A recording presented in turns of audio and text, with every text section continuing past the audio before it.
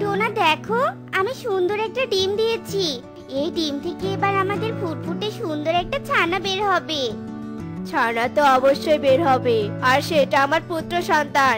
যে কিনা বড় হয়ে, শিক্ষিত হয়ে আমার ব্যবসার হাল ধরবে, আমার বংশের বাতি চালাবে, কখনোই আমার বংশকে নির্বংশ হতে দিবে না। তুই একদম আমার মনের কথাটাই বলেছিস বাবা। আমি আমার নাতিকে অনেক বড় স্কুলে পড়াশোনা করাবো অনেক শিক্ষিত করব আমি। আর যদি আমার কন্যা সন্তান হয় তাহলে কি করবেন মা? খবরদার বৌমা এমন কুলক্ষণী কথা আর যেন তোমার মুখে দ্বিতীয়বার না শুনি এ আমি বলে দিলাম। মা একদম ঠিক কথা বলেছে। আর কখনোই তুমি কন্যা সন্তানের কথা বলবে না। কন্যা সন্তান হলো অপয়া। কন্যা সন্তান আসছে সংসার ধ্বংস করার জন্য। কোনো উন্নতি করার জন্য নয় বুঝেছ? হয়েছে বাবা ছাড়ো সব। তোর অফিস যাওয়ার সময় হয়ে এসেছে। যা তুই এবার অফিসে চলে যা। আচ্ছা ঠিক আছে মা আমি অফিসে যাচ্ছি। আর টুনি তুমি ভালোভাবে ডিমের যত্ন নিও কেমন? এরপর তো না অফিসে চলে যায়। আর মিনু নিজের ঘরে গিয়ে পান চিবোতে থাকে। এদিকে টুনি স্বামী শাশুড়ির এমন কথা শুনে মনে মনে ভেঙে পড়ে আর একা একাই কাঁদতে শুরু করে। সৃষ্টিকর্তা যদি সত্যি আমার কপালে কন্যা সন্তান লিখে রাখে, তাহলে তো এরা কেউ আমার সন্তানকে মেনে নিতে পারবে না। কিন্তু তবু আমি থামবো না। আমি আমার সবটুকু দিয়ে আমি আমার সন্তানকে অনেক শিক্ষিত বানাবো। এই বলে টুনি চোখের জল মুছে ফেলে আর সংসারের সব কাজ সেরে নেয়। এদিকে যে যে যার যার মতো কাজে ব্যস্ত হয়ে পড়ে। এভাবেই দেখতে দেখতে কেটে যায় বেশ কিছুদিন। এদিকে টুনিরও ডিম ফুটে ছানা বের হয় আর কাকতালীয় ভাবে সেই ডিম থেকে কন্যা সন্তানের জন্ম হয়। আর তা দেখে টোনা আর মিনু ভীষণ রেগে যায়। বৌমা, তোমাকে বলেছিলাম, একটা পুত্র সন্তান দিতে। আর তুমি কি না সেই কন্যা সন্তানের জন্ম দিলে? আসলে দিবেই না বা কেন? কারণ তুমি নিজেই তো হলো একটা কুলক্ষী। আর কুলক্ষীর পেট থেকে ভালো কিছু কখনোই আশা করা যায় না। টুনি, একে এক্ষুনি আমার সামন থেকে সরিয়ে বাইরে ফেলে দিয়ে এসো। আর আবার গর্ভবতী হয়ে আমাকে একটা পুত্র সন্তান দাও, বুঝেছ? না আমি আমার মেয়েকে কোথাও রেখে আসব না। বরং আমি যেখানে থাকব আমার সন্তানও আমার সাথে থাকবে। তোর এত বড় সাহস? তুই আমার মুখের উপর কথা বলিস? আজ তো আমি তোর ওই মেয়েকে মেরে মাটিতে পুঁতে দিব। এই বলে টোনা টুনিকে ধরে মারতে থাকে। আমার মারার সময় কেঁদে আবার আমাকে বিরক্ত করছিস? দাঁড়া আজ তোর জীবনটা আমি কেড়ে নিব। হ্যাঁ বাবা, মার। এগুলোকে মেরে জঙ্গলে ফেলে দিয়ে আয়। এসব জঙ্গল কি আর দু চোখে দেখতে ইচ্ছে করছে না আমার? মিনুর কথা শুনে টোনা তার মেয়েকে আরও বেশি জোরে আঘাত করতে থাকে। ওগো, তোমার দোয়াই লাগে। তুমি আমাকে মারো, কিন্তু আমার মেয়েটাকে তুমি ছেড়ে দাও। ও তো এখনও অবুঝ। ও তো তোমার কাছে কোনো অন্যায় করেনি। টুনির কোনো কথাই শোনে না। টুকিকে মারতেই থাকে। আর টুকি মার সহ্য করতে না পেরে অজ্ঞান হয়ে পড়ে যায়। আর সেটা দেখে টুনি, তুমি আমার মেয়েকে মেরে ফেললে। নিষ্ঠুর পাপিষ্ঠ বাবা কোথাকার? এতটুকু বলেই টুনি অজ্ঞান হয়ে যায়। বাবা টোনা, এরা মামি মনে হয় মারা গিয়েছে। এদের যদি এখন আমরা বাড়িতে রেখে দেই, তাহলে পুলিশ এসে আমাদের জেলে দিয়ে যাবে। আর আমাদের ফাঁসির কাট করা ঝুলাবে বুঝেছিস? মা, তুমি বস্তা নিয়ে এসো। বস্তা দিয়ে কি হবে রে বাবা? তুমি নিয়ে এসো না আগে। মিনু তাড়াতাড়ি গিয়ে বস্তা নিয়ে আসে। আর দুজনে মিলে মা মেয়েকে বস্তায় ভরে নিয়ে জঙ্গলে ফেলে দিয়ে বাড়িতে ফিরে আসে।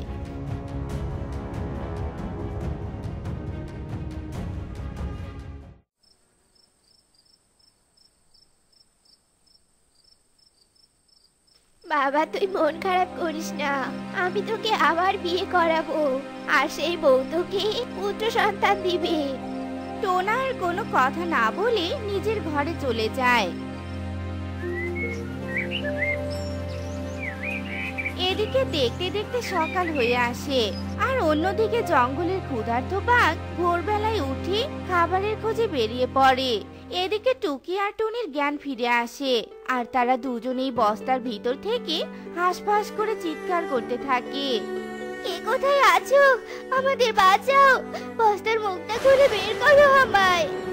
এই চিৎকার কোথা থেকে আসছে? তার উপর তাজা পাখির গন্ধ। সামনে ওটা কি দেখা যাচ্ছে? মনে তো হচ্ছে কোনো বস্তা। এরপর বাঘ বস্তার কাছে আসে আর তখনই টুনি চিৎকার করে ওঠে আমাদের কেউ বাঁচাও! মনে হয় এখান থেকে চিৎকার আসছে। এরপর বাঘ বস্তাটা কামড় দিয়ে ছিঁড়ে ওদের বের করে। যাক, সাত সকাল বেলাতে এমন খাবার পেয়ে যাব কখনোই ভাবিনি। বাঘ মামা, আমরা খুবই অসহায়। তুমি দয়া করে আমাদের খেও না। আমাদের যে বেঁচে থাকার খুব প্রয়োজন। টুনির চোখে জল দেখে বাঘের মনে মায়া হয়। আচ্ছা ঠিক আছে। আমি তোদের খাব না। এবার বল তোরা এই বস্তার মধ্যে কি করে ঢুকে গেলি? এরপর টুনি সব ঘটনা বাঘকে খুলে বলে আর সব শুনে বাঘের ভীষণ খারাপ লাগে। তুই কোনো চিন্তা করিস না তোদের আর কিচ্ছু হবে না। আজ থেকে তোরা দুজনেই আমার সাথে থাকবি আর আমি তোর কন্যাকে শিক্ষিত কন্যা বানাবো আর তোদের প্রতিশোধ নেওয়ার ব্যবস্থা করব। চল এবার আমার সাথে। বাঘ টুনিকে পিঠে আর টুকিকে মুখে নিয়ে গুহায় যায়। তোরা দুজনে এখন থেকে এখানেই থাকবি। এখন তোরা এখানে শুয়ে শুয়ে বিশ্রাম নে আমি তোদের জন্য খাবার আর ঔষধ নিয়ে আসছি। বাঘ ওদের রেখে বাইরে যায়। এরপর খাবার আর ওষুধ নিয়ে আসে। এরপর সবাই মিলে খেয়ে বিশ্রাম নিতে থাকে। আর দেখতে দেখতে কেটে যায় বেশ কিছুদিন। আর বাঘ টুকিকে নিয়ে স্কুলে ভর্তি করিয়ে দেয়। আর টুকি অনেক মনোযোগ সহকারে পড়াশোনা করতে থাকে। এভাবে দেখতে দেখতে কেটে যায় আরও কিছুদিন। আর টুকিও অনেক বড় হয়ে ওঠে। দেখো, আমি তোমার ইচ্ছে পূরণ করতে পেরেছি। আমি পরীক্ষায় পাশ করেছি, মা। আর আমি চাকরি করব, মা। আর তোমার সব স্বপ্ন পূরণ করব। তুই যে শিক্ষিত হতে পেরেছিস, আমি তাতেই অনেক খুশি রে, মা। এবার যা, বাকিটুকুও করে নে। মায়ের ইচ্ছে পূরণের জন্য টুকি পড়াশোনা শেষ করে চাকরিতে চলে যায়। আর অনেক বড় একটা চাকরিও পেয়ে যায়। এভাবে দেখতে দেখতে অনেকগুলো দিন পেরিয়ে যায়।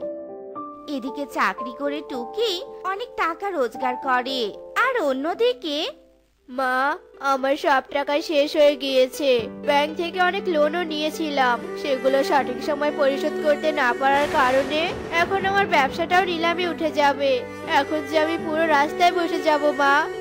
কাঁদিস না বাবা। যা হবে তা ভালোই হবে। টোনার মিনু চিন্তায় প্রহর গুনতে থাকে।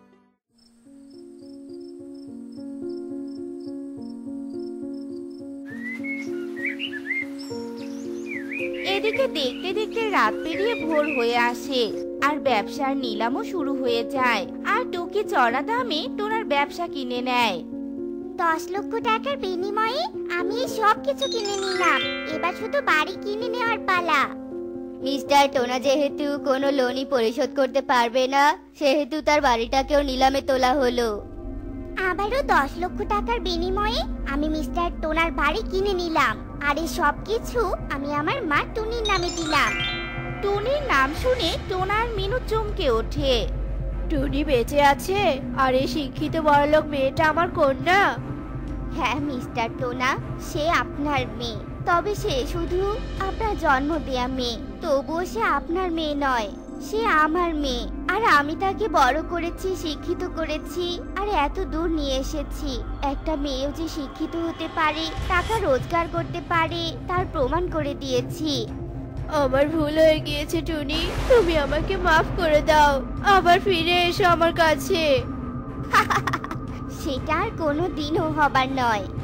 টনি তার মেয়েকে নিয়ে নিজেদের কেনা বাড়িতে চলে যায়। আর সেখানে সুখে দিন কাটাতে থাকে। এদিকে টোনা আর মিনু রাস্তায় রাস্তায় ঘুরতে থাকে। ছানা বেরিয়েছে আমার ছানা বেরিয়েছে। আমিও সবার মতো মা ডাক শুনব। আমার মেয়ের মুখ থেকে আমি মা ডাক শুনব। আমার সোনা কি খাবি তুই? বল আমাকে। মা আমি মিষ্টি খাব। আমাকে মিষ্টি দাও। ওরে আমার সোনারি মিষ্টি খাবি? দাঁড়া আমি এক্ষুনি নিয়ে আসছি। এরপর টুনি রান্নাঘরে যায়। আর রান্নাঘর থেকে মিষ্টি এনে টুকিকে দেয়। মা আমার খুব ঘুম পাচ্ছে। আমাকে ঘুম পাড়িয়ে দাও? আয় মা আমার বুকে আয়। তোর মাথায় হাত বুলিয়ে ঘুম পাড়িয়ে দে এরপর টুনি টুকিকে বুকে নেয় আর টুকির মাথায় হাত বুলিয়ে দিয়ে ঘুম পাড়িয়ে দেয়। পরে টুনি একা একা ভাবতে থাকে আমার ছানা হয়েছে। এই খুশিতে বনের সবাইকে কালকে আমার হাতে সে স্পেশাল খিচুড়ি রেঁধে খাওয়াবো। টুকি ঘুমিয়ে পড়েছে। যাই বনের সবাইকে নিমন্ত্রণ দিয়ে আসি। এরপর টুনি বনে বেরিয়ে পড়ে আর বিউটির বাড়িতে যায়। কি ব্যাপার রে টুনি? তোকে এত খুশি দেখাচ্ছে কেন? আর তুই এই সময় আমার বাড়িতে কিছু কি দরকার নাকি রে? দিদি, আমার ছানা বেরিয়েছে ডিম থেকে। তাই আমি তোমাকে নিমন্ত্রণ দিতে এসেছি। কাল বিকেলে আমার বাড়িতে এসো কেমন? সত্যি বলছিস টুনি? এ তো বেশ খুশির খবর রে। আমি আসব, কিন্তু তার আগে বল কি রেঁধে খাওয়াবি? দিদি, খিচুড়ি রেঁধে খাওয়াবো। তুমি অবশ্যই আসবে কিন্তু কেমন? আরে আসব আসব, অবশ্যই আসব। তোর হাতের খিচুড়ি? একদম মিস করা যাবে না। দিদি, তাহলে আমি আসি। সবাইকে আবার নিমন্ত্রণ দিতে হবে। ওদিকে টুকি আবার ঘরে একা ঘুমিয়ে আছে। টুনি টিয়ের বাড়ি থেকে কবুতরের বাড়িতে আসে। টুনি কবুতরকেও নিমন্ত্রণ করে। এভাবে বনের সবাইকে নিমন্ত্রণ দিয়ে টুনি বাড়িতে চলে আসে।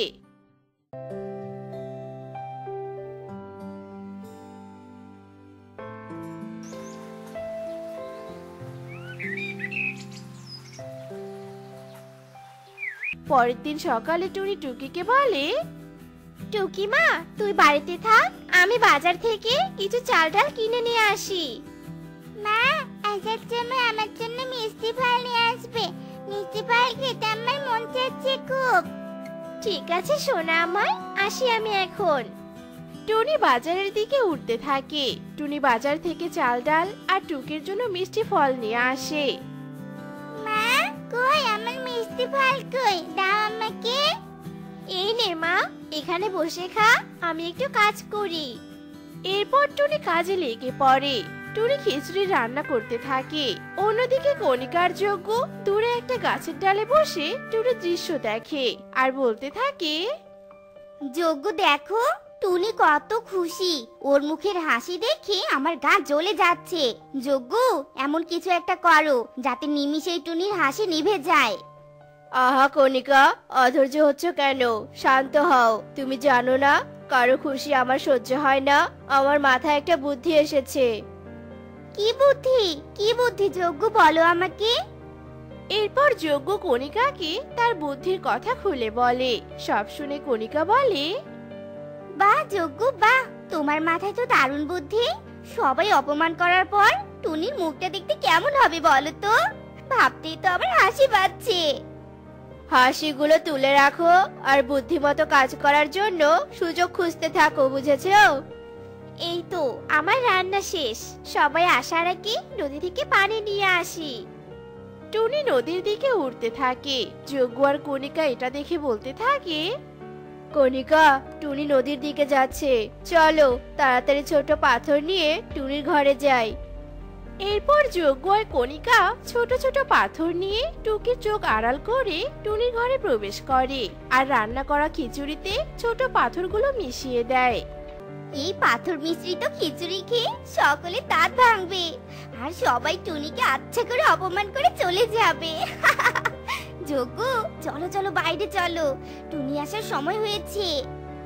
এরপর যজ্ঞ আর কণিকা বাহিরে বেরিয়ে আসে। টুনি নদী থেকে পানি নিয়ে আসে। কিছুক্ষণ পর বনের সবাই খিচুড়ি খেতে টুনির বাড়িতে আসে। টুনি সবাইকে খিচুড়ি বেড়ে দেয়। সবাই খিচুড়ি মুখে দিয়েই বলতে থাকে ওরে বাবা রে আমার দাঁত ভেঙে গেল রে। আহ এ কি? এ তো পাথর। হ্যাঁ হ্যাঁ এ তো পাথর। আহ। মনে হচ্ছে এই মুখ দিয়ে আর কিছু খেতে পারব না। এই টুনি তুই কি পাথর দিয়ে খিচুড়ি রান্না করেছিস নাকি রে? আরে না না দাদা আমি তো ভালো খিচুড়ি রান্না করেছি। বিশ্বাস করো? টুনি তোর কাছ থেকে আমরা এটা আশা করিনি। আমাদের অপমান করার চেয়ে নিমন্ত্রণ না দেওয়াই ভালো ছিল। হ্যাঁ চলো সবাই এখান থেকে।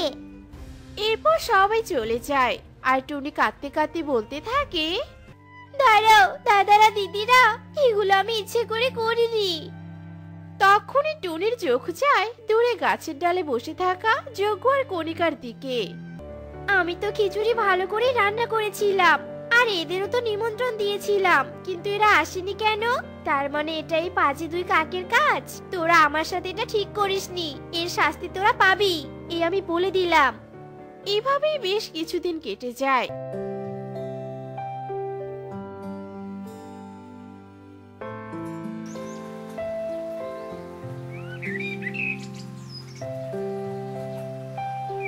একদিন কণিকা যজ্ঞকে বলে যজ্ঞ জানো কবুতরের উঠোনে না একটা লাল টমেটোর গাছ আছে।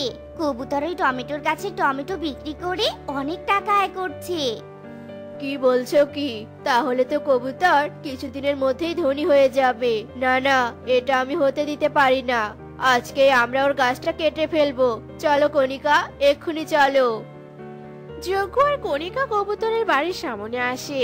আর এদিক ওদিক তাকিয়ে টমেটোর গাছটা কেটে ফেলে কিছুটা দূরে চলে যায়। আর কিছুক্ষণ পর কবুতর টমেটোর গাছের কাছে আসে আর গাছটা দেখে কান্না করতে থাকে। আমার টমেটো গাছ কে করল এমনটা? এবার আমি আবার সংসার চালাবো কি করে? এই কাক তোরা? তোরা কি দেখেছিস কে আমার টমেটো গাছ কেটেছে? আমাদের কি কি তোর চাকর মনে হয় নাকি রে? আমরা এখানে ঘুরতে এসেছি। তোর গাছ পাহারা দিতে নই। যত সব। কনিকা চলো বাড়িতে যাই। এরপর ওরা চলে যায় আর কবুতর কাঁদতেই থাকে। তখনই ওখানে টিয়া আর টুনি আসে। কি হয়েছে দাদা? কাছো কেন? কবুতর কাঁদতে কাঁদতে সব ঘটনা টুনি আর টিয়াকে খুলে বলে।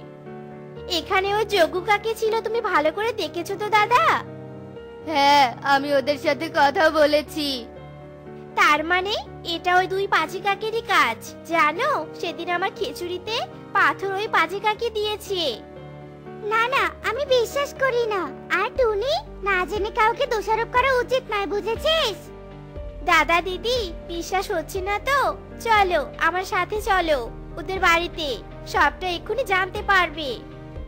এরপর টুনি ওদের সাথে নিয়ে যজ্ঞ আর কণিকার ঘরের পাশে লুকিয়ে থাকে। আর যজ্ঞ কণিকা ভিতর থেকে হাসতে থাকে আর বলতে থাকে সেদিন টুনির খিচুড়িতে পাথর দিয়ে যত হাসি পেয়েছিল তার থেকে দ্বিগুণ হাসি পাচ্ছে। আজ কবুতরের টমেটো গাছ কেটে দিয়ে।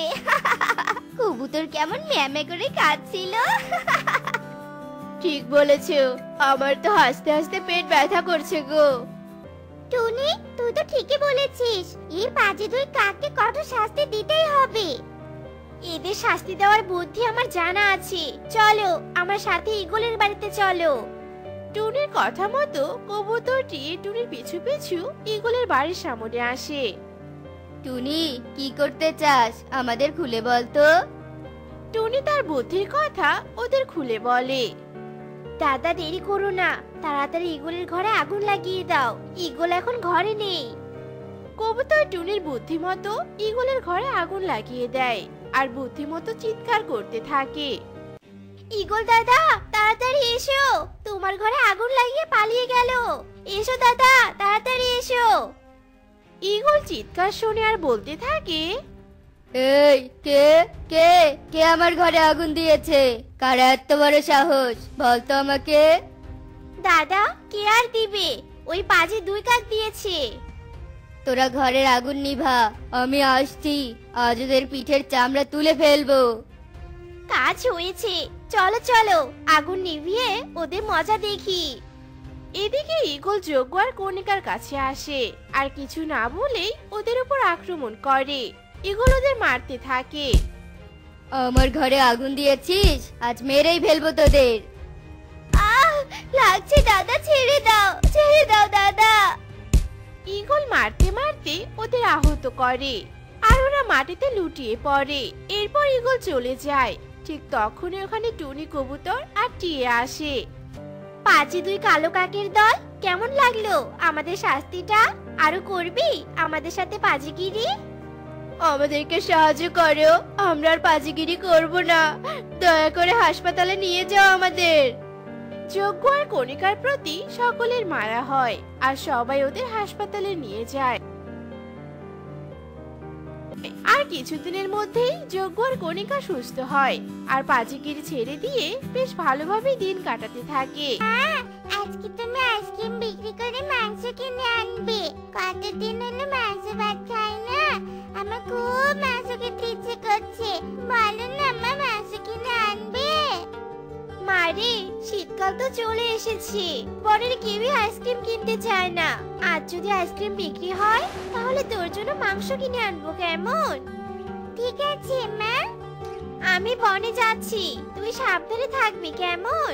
আর হ্যাঁ ঠান্ডা পানিতে বেশিক্ষণ গোসল করবি না। আমি যত তাড়াতাড়ি সম্ভব চলে আসব ঠিক আছে? এরপর টুনি আইসক্রিমের ঠেলা গাড়ি নিয়ে বেরিয়ে পড়ে আর বলতে থাকে, আইসক্রিম নাও, আইসক্রিম, ঠান্ডা ঠান্ডা আইসক্রিম, মজাদার আইসক্রিম, এসো এসো, দাদারা, দিদিরা, ছোট্ট সোনারা, এসো এসো, নিয়ে যাও নিয়ে যাও। ঠিক তখনই টুনির সামনে পারুল আর বিউটি আসে। পারুল বিউটিকে বলে, মা মা, দেখো, আইসক্রিম, আমি আইসক্রিম পাবো মা। আমাকে আইসক্রিম কিনে দাও না। মা, কিনে দাও না আইসক্রিম। শোনা মা, আমার এমন জেদ করে না মা। এই শীতে বিশ টাকার আইসক্রিম খেলে তোকে পাঁচশো টাকার ঔষধ খাওয়াতে হবে। এর চেয়ে ভালো, তোকে আমি বাজার থেকে মিষ্টি ফল আর শীতের পিঠা কিনে দিব। চল মা, আমরা যাই। না না মা, আমি আইসক্রিমই খাব। কোনো পিঠা খাব না। তোকে পুতুলও কিনে দিব মা। চল যাই, জেদ করিস না। দিদি পারুল যখন খেতে চাইছে তখন তুমি একটা আইসক্রিম কিনে দাও না গো। একটা আইসক্রিম খেলে কিছুই হবে না। এই তুই চুপ কর বেয়াদব। তোর আইসক্রিম বিক্রি হওয়ার কথা তাই না? তুই জানিস না এই শীতে আইসক্রিম খেলে বাচ্চারা অসুস্থ হয়? কাল থেকে যেন তোকে এই বনে আইসক্রিম বিক্রি করতে না দেখি। যত সব। চল মা তোকে পুতুল কিনে দিব। ইয়ে কি মজা। মা পুতুল কিনে দিবে। চলো তাহলে চলো। এরপর বিউটি পারুলকে নিয়ে চলে যায়। টুনি মন খারাপ করে আবারও আইসক্রিম বিক্রি করতে থাকে। কিন্তু কেউই টুনির আইসক্রিম কিনে নেয় না। টুনি অসহায় হয়ে আবারও বাড়িতে ফিরে আসে। মা এনেছে আমার জন্য মাংস। কই দেখি। মারে একটা আইসক্রিমও বিক্রি হয়নি। আমার কাছে কোনো টাকা নেই। তাহলে মাংস কিনবো কি করে তুই বল? একই শীতকাল। তার উপর কেউ আইসক্রিম কিনে নেয় না। সংসার চালাবো কি করে? কিছুই যে আমি বুঝতে পারছি না। মা চিন্তা করো না সব ঠিক হয়ে যাবে। তুমি দেখো আমার ক্ষুধা লেগেছে আমাকে খেতে দাও। টুনি টুকিকে খেতে দেয়।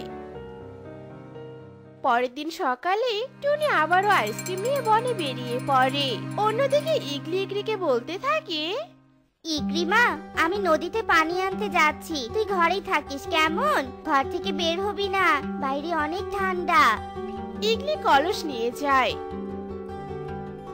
তখনই ওখানে টুনি আসে ঠেলা গাড়ি নিয়ে আর বলতে থাকে আইসক্রিম আইসক্রিম ঠান্ডা ঠান্ডা মজাদার আইসক্রিম। এসো এসো নিয়ে যাও নিয়ে যাও। রোজ মাকে বলে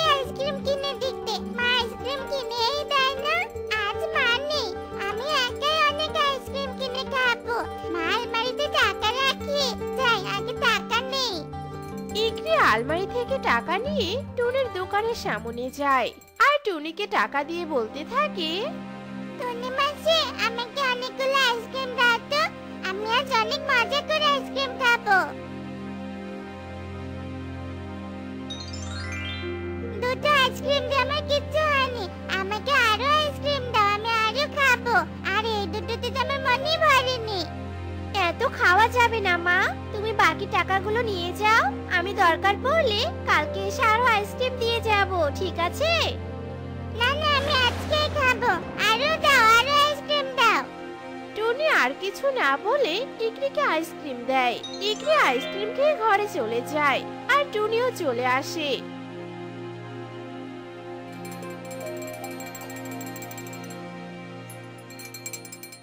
রাতের বেলা ইকরি অনেক অসুস্থ হয়। মা আমার অনেক কষ্ট হচ্ছে মা। মাথা ব্যথা করছে আমার। জ্বর এসেছে রে মা। আমি নদীতে যাওয়ার পর তুই নিশ্চয়ই আইসক্রিম খেয়েছিস তাই না? সত্যি করে বল নয়তো তোকে কঠোর শাস্তি দিব বলে রাখলাম। বল কি রে জ্বর কি করে বাঁধালি বল। আমি ইচ্ছে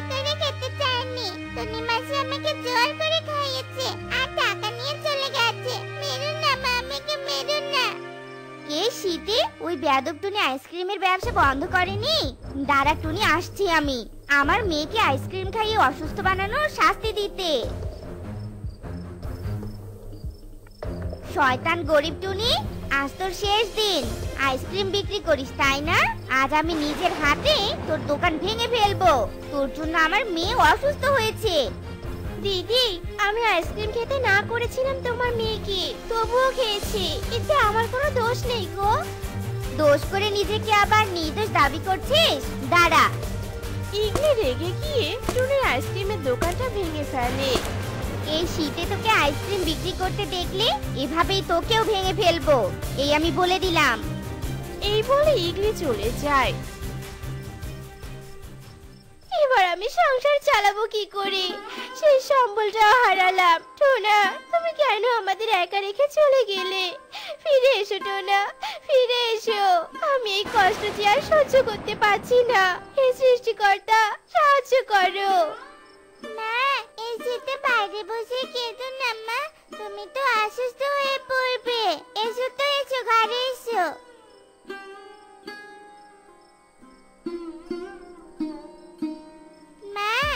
তুমি কাল থেকে বনে গরম গরম শীতের পিঠা বিক্রি করবে। দেখবে তোমার শীতের পিঠা সবাই কিনে নিবে। কেউ আর পিঠে খেতে শহরে যাবে না হ্যাঁ। তুই তো এটা ঠিক বলেছিস রে মা। আমি তো এটা ভেবে দেখিনি। চল মা ঘুমিয়ে পড়ি। কাল সকাল সকাল পিঠা বানানোর কাজে লেগে পড়তে হবে। এরপর টুনি টুকি ঘুমিয়ে পড়ে।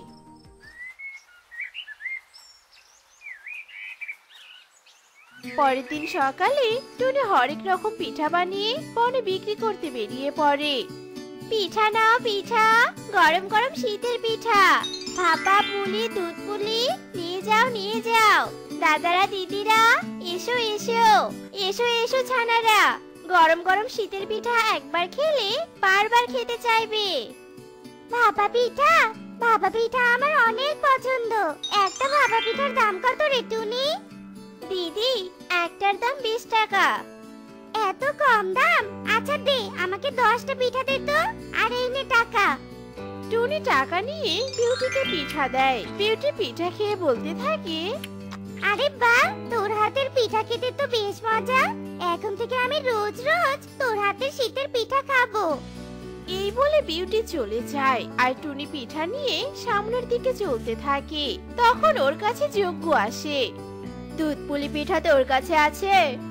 হ্যাঁ দাদা, আছে। দুধ পুলি পিঠা আমার অনেক পছন্দ। দে, আমাকে এক বাটি দে তো। টুনি এক বাটি পিঠা দেয় আর যজ্ঞ খেয়ে টাকা দিয়ে চলে যায়। এভাবে আস্তে আস্তে টুনি সব পিঠা বিক্রি হয়ে যায় আর টুনি বাড়িতে এসে টাকা হিসাব করে বেশ খুশি হয়। একদিনে দু হাজার টাকা শীতের পিঠা বিক্রি করেছি। এভাবে চলতে থাকলে আমি বেশ ভালোভাবে সংসার চালাতে পারব। থেকে আমাদের আশীর্বাদ করো। মা, তুমি তো আজ অনেক টাকার পিঠা বিক্রি করেছ। আজকে মাংস কিনে আনবে? হ্যাঁ রে মা হ্যাঁ এক্ষুনি যাচ্ছি মাংস আনতে। এখন থেকে আমি তো সব আবদার পূরণ করব, বুঝেছিস? মা, তাহলে আমার জন্য কিছু সন্দেশ আর মিষ্টিও নিয়ে এসো কেমন? ঠিক আছে মা, আমি যাচ্ছি। এরপর টুনি বাজারে আসে। আর মিষ্টি সন্দেশ মাংস নিয়ে বাড়িতে আসে। আর মাংস রান্না করে টুনি টুকি বেশ খুশি মনে খাবার খেয়ে নেয়। খাওয়া শেষ। অনেক রাত হয়েছে রে মা। চল, এবার আমরা ঘুমিয়ে পড়ি। এভাবে টুনি বনের মধ্যে শীতের পিঠা বিক্রি করে বেশ সুখে দিন কাটাতে থাকে। মা বাবা ছেড়ে চলে গেলে? তোমাদের ছাড়া আমার একদম ভালো লাগে না। তোমরা তোমরা আবার ফিরে এসো না বাবা বাবা, তুমিও ফিরে এসো।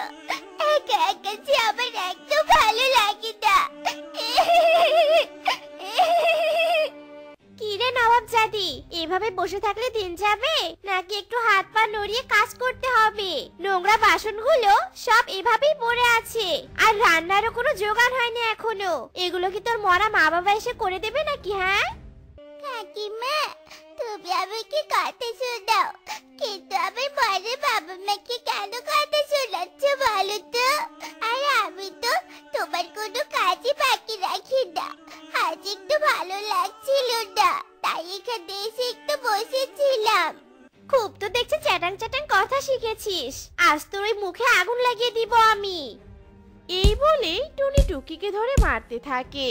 আর টুকির প্রতিবাদ করার মতো কোনো উপায় থাকে না। চুপচাপ মারগুলো সহ্য করে নেয় আর রান্নাঘরে গিয়ে কাঁদতে থাকে। এরপর সব কাজগুলো সারতে থাকে। মা, দেখো দেখো, আমার পরীক্ষার রেজাল্ট দিয়েছে। আর আমি দুই বিষয়ে ফেল করেছি। ওরে আমার সোনা মা এবছরও ফেল করেছিস, তাতে কি হয়েছে?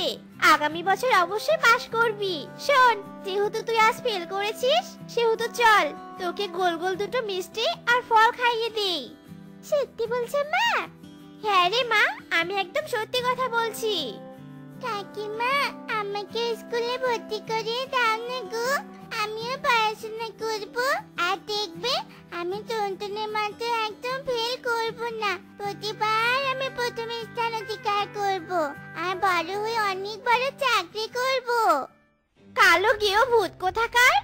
আর তুই কিনা করবি পড়াশোনা? তার উপর আবার স্বপ্নও দেখছে চাকরি করার? শোন, তুই হলি অপয়া। আর অপয়াদের কখনোই পড়াশোনা করতে নেই। যা, গিয়ে এবার নিজের কাজ কর। এই বলে টুনি টুকিকে তাড়িয়ে দেয় আর টুকি কাঁদতে কাঁদতে সেখান থেকে চলে যায়। এভাবেই দেখতে দেখতে কেটে যায় বেশ কয়েকদিন।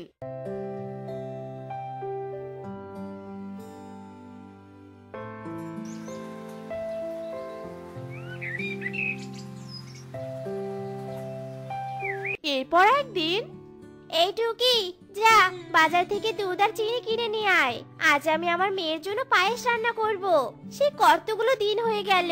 আমি আমার মেয়েটাকে একটু পায়েস রান্না করে খাওয়াই না। পায়েসের কথা শুনে টুকি মনে মনে ভাবতে থাকে। পায়েস? কাকিমাস পায়েস রান্না করবে? পায়েস খেতে যে ভীষণ ভালো লাগে আমার। আজ একটু মজা করে পায়েস খাব। কি রে? আমি তোকে কি বললাম? কথা কি কানে যায়নি নাকি হ্যাঁ? এখনও যে হা করে দাঁড়িয়ে আছিস? হ্যাঁ হ্যাঁ কাকিমা এক্ষুনি যাচ্ছি। এরপর টুকি তাড়াতাড়ি করে উড়ে বাজারে চলে যায়।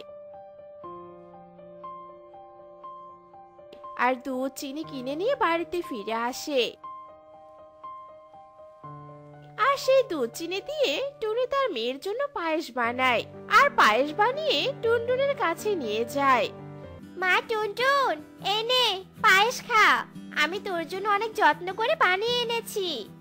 না, তুমি জানো না, পায়েস আমার একদম ভালো লাগে না। তবু আমার জন্য কেন পায়েস এনেছো? যাও, এগুলো ফেলে দিয়ে এসো। মারে আমি তোর জন্য অনেক ভালোবেসে পায়েসগুলো বানিয়েছি। একটু খানা রে মা।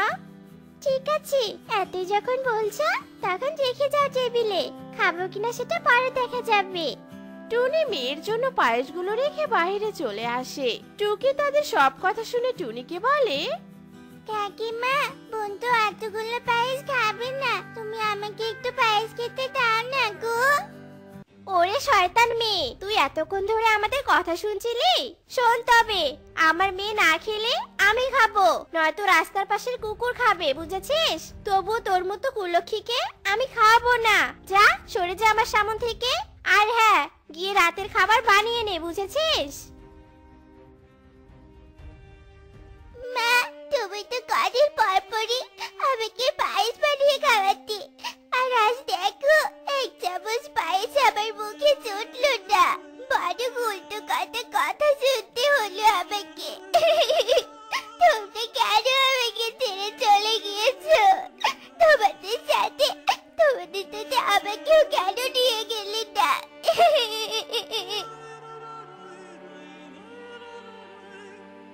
ওরে বাবা রে বাবা বুবু বুবু ভূত বুবু ভূত টুটু টুটুনি আমাকে বাঁচা এখানে যে লম্বা চুলের ভূত বসে আছে টাম্মি আমি তোকে আমি ভূত নই গো মা কি হয়েছে? তুমি এমন করে চিৎকার কেন করছ বলো তো?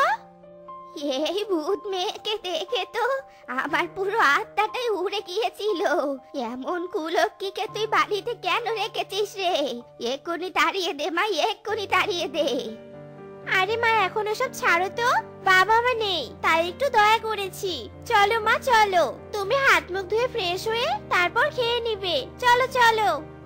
টুনি জোর করে তার মাকে নিয়ে সেখান থেকে চলে যায়। এদিকে টুকি সবকিছু ভুলে গিয়ে রান্নাঘরে যায় আর রান্না করে নিয়ে সবাইকে খেতে দেয়। এ কি? এ খাবারে চুল কেন? তাও আবার কত লম্বা চুল। এটা যদি আমার গলায় আটকে যেত তাহলে তো আমি এক্ষুনি মরে যেতাম। এগুলো কে রান্না করেছে রে মাটুনি টুকি রান্না করেছি মা। আমি ওকে বাড়ি থেকে তাড়িয়ে দিতে বলেছি বলেই ও আমার সাথে এমনটা করেছে। আজ এই সব খাবার আমি ওই কালো লম্বা চুলের মেয়েকেই খাওয়াবো। টুকি টুকি হ্যাঁ টুকি। কি হয়েছে টাম্মি তুমি আমাকে এভাবে ডাকছো কেন? শয়তান অলক্ষী তুই আমাকে মেরে ফেলার ফোন দিয়ে এটেছিলি তাই না? আয় এদিকে আয়। সবগুলো খাবার এবার তুই খাবি। এই বলে মিনু জোর করে তার সবগুলো খাবার টুকিকে খাইয়ে দেয়। আর অতিরিক্ত খাবার খাওয়ার কারণে টুকি ভীষণ অসুস্থ হয়ে পড়ে। সৃষ্টিকর্তা তুমি কেন আমাকে কালো করে পাঠিয়েছো বলো? তার থেকে ভালো হতো তুমি আর আমাকে এই দুনিয়াতে না পাঠাতে। হয়েছে হয়েছে। সামান্য কটা খাবার খেয়ে অত অসুস্থতার ভান করতে হবে না। যা নিজের কাজ কর মন দিয়ে যা বলছি। টুনি টুকির ওপর সব কাজ চাপিয়ে দিয়ে সেখান থেকে চলে যায়। আর টুকি কোনো রকমে কাজগুলো সেরে নেয়। এদিকে দেখতে দেখতে রাত হয়ে আসে।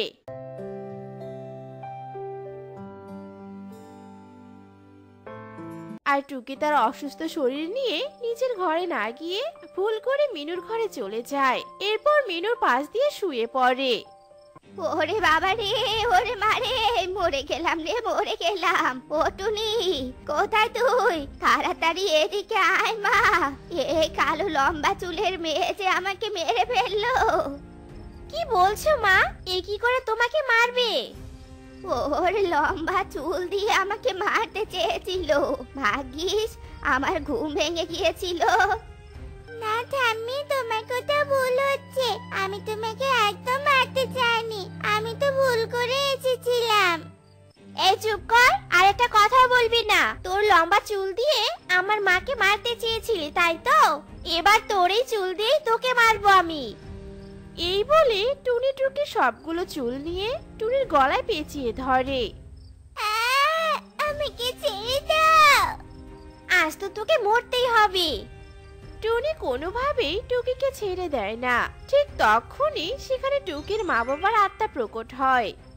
টুনি, তোর এত বড় সাহস। তুই আমার মেয়েকে মারতে চাইছিস। সম্পত্তির লোভে তুই আমাকে আর আমার স্ত্রীকে মেরে ফেলেছিলি। আর আজ আমাদের অনাথ মেয়েকেও ছাড় দিচ্ছিস না তুই। আজ তো তোর জীবনের শেষ দিন।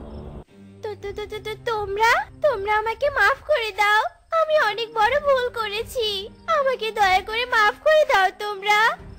তোকে আমরা মাফ করব কোন ভরসায় আমি তোমাদের কালো কন্যাকে আমার নিজের মেয়ের মতো করে বড় করে তুলবো। আর কোনোদিন ওকে দিয়ে কোনো কাজ করাবো না। আমি ওকে অনেক যত্নে রাখব। এই আমি কথা দিলাম। তোকে বিশ্বাস করে এবারের মতো মাফ করে দিলাম। কিন্তু এরপর যদি কখনো আমাদের মেয়ের সাথে খারাপ আচরণ করিস, তাহলে আমি তোকে মেরে টুকরো টুকরো করে খাব। আচ্ছা ঠিক আছে ঠিক আছে। এরপর আত্মারা টুনিকে মাফ করে দেয় আর তারা চলে যায়। আর টুনি কালো লম্বা চুলের কন্যাকে নিজের মেয়ের মতো করে আদর যত্ন করতে থাকে। তো বন্ধুরা আমাদের আজকের গল্পটি তোমাদের কাছে কেমন লেগেছে তা কমেন্টে জানাতে ভুলো না কিন্তু।